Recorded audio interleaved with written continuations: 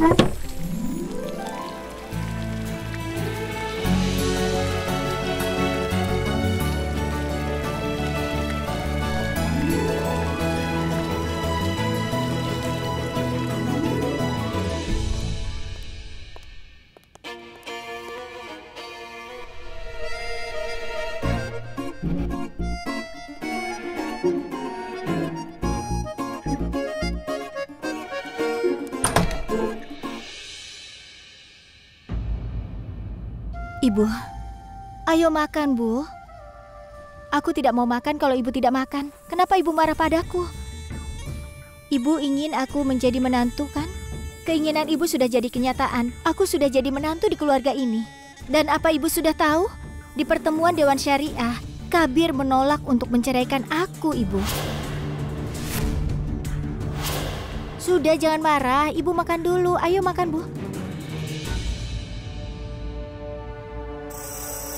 Lihat ibu, tidak mau makan apa-apa. Karena tidak mau makan jadi lemas.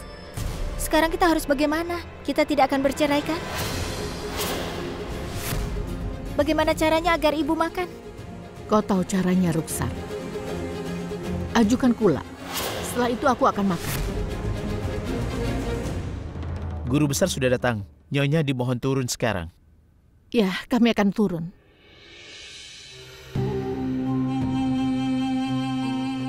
Assalamualaikum guru besar. Waalaikumsalam Aisyah. Katakan, ada masalah apa? Guru besar, kau adalah guru kami. Kami akan melakukan semua perintahmu.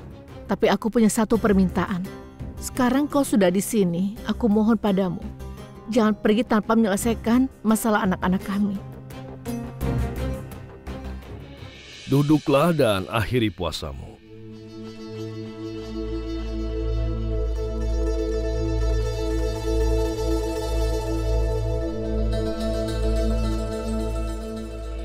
Ruksar, Zara dan Kabir, pertama-tama aku ingin bicara dengan kalian bertiga. Iya, Kazi. Zara dengar baik-baik. Apa yang akan kukatakan ini padamu? Menurut hukum Islam, dua orang istri boleh tinggal di satu atap.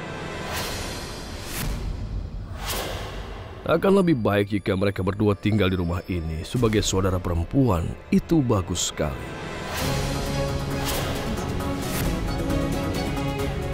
Untuk pembagian properti, Kabir menikahi Ruksar saat itu dalam keadaan terpaksa. Biasanya, kedua istri akan mendapatkan bagian yang sama, tapi karena alasan itu, maka Ruksar hanya akan mendapatkan seperempat bagian saja. Dan kau harus bisa menerima hal itu.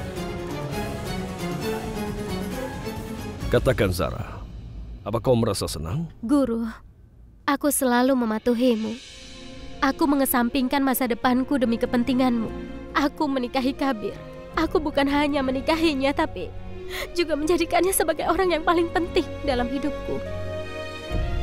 Aku bahkan mengubah pandanganku tentang hidup untuk dia. Dan ketika kami sudah saling mencintai satu sama lain, kami merasa sangat bahagia bersama lalu masalah ini tiba-tiba muncul. Tidak, Zara.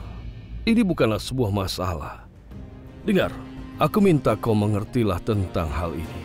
Biasanya, sesuatu terjadi ketika kita menginginkannya terjadi dan mengusahakannya.